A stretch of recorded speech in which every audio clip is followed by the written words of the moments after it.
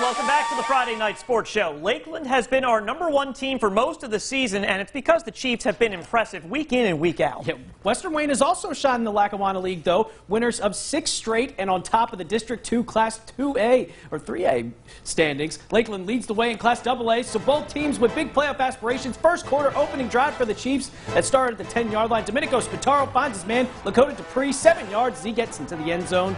Now, the Cats would come right back on the number one team. Frankie LaShawn dropping back and hits playmaker Sean Owens 39 yards for the equalizer. We're tied seven apiece. Lakeland wouldn't hold back after the touchdown, though. Driving all the way down, Spataro taking it in himself. One yard, Chiefs take back the lead, move to the fourth quarter. Chiefs lead by one. Fourth and six, Spataro on the keeper, gets the first down and says, you know what, I'm to keep going. Ice is the game, touchdown 35 to 28. Lakeland avoids the upset from Western Wayne 35-28. Big save for the Chiefs. Absolutely. Delaware Valley coming off a big win over Valley View. Now facing Scranton late in the first quarter. Tyler Bird swings it to Ryder Machado, juking multiple defenders, and that's a clean break as he goes for the first score of the game. Just like that, 7-0 Warriors. The Knights respond on the ensuing kickoff.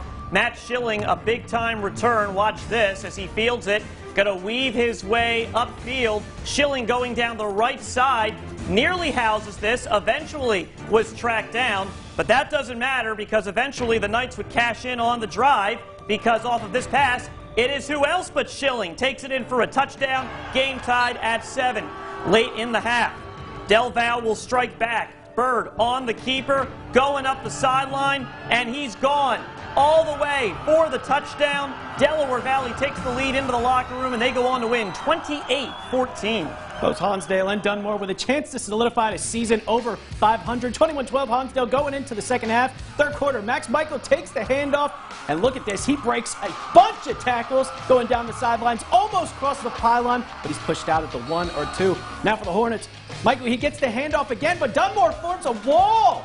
Stops them on fourth and goal for the turnover. The Hornets would later get a field goal to make it 24 to 12 now. Ensuing Bucks possession. Danny Piga takes the pick takes the handoff and goes nowhere, but changes direction, and it works out. Breaks free and has himself a touchdown, 19-24. Dunmore actually makes the comeback and wins this one 27 to 24. What a win for the Bucks. And Old Forge hosting Riverside in what's known as the Pizza Bowl. Blue Devils out to an early fourth down situation. James Sobel fakes the handoff, avoids a few tackles here, and then finds Nico Colino for a big first down. That play would give the Devils exactly what they needed to open up Josh Spindler for an 11-yard touchdown. And watch this, he carries three Vikings with him across the plane. That puts the Devils up 7-0. Later in the first, Spindler gets the handoff again and finds his way to the end zone again. A little more conventional this time. Old Forge up 14-0. In the dying seconds of the first half, the Vikings looking to put something up.